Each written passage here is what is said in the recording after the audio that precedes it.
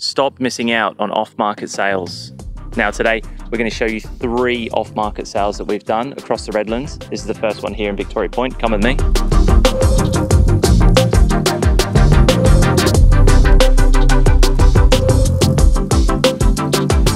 These owners, we were lucky enough to work with them. They gave us a call. They needed something done off market. They had another purchase ready to go, so they needed a contract ASAP. Um, I knew that I had a buyer for this property, and we matched the two together at a price they were happy with, and the seller's done the deal. So um, yeah, it was a good result for everyone. All right, we're done here. Let's head over to the next one in Thornlands. I'll see you guys there. All right, another one here sold in Thornlands. Now, the way that my team works is I've got four people in my immediate team who are ready to go with buyers for quality homes like this one. Now, this one was tenanted, didn't disturb the tenant, and the property is now sold to an interstate investor. So it's a win-win for everyone. We're going to head over to Birkdale now. So we're wrapping up here, and I'll see you at the next one.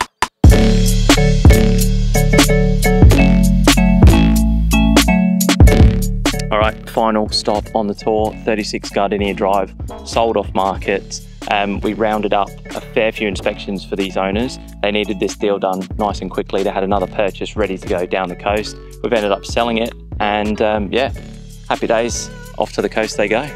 Now, if you're a buyer and you are looking for your dream home and you're not speaking to us, you are going to miss out.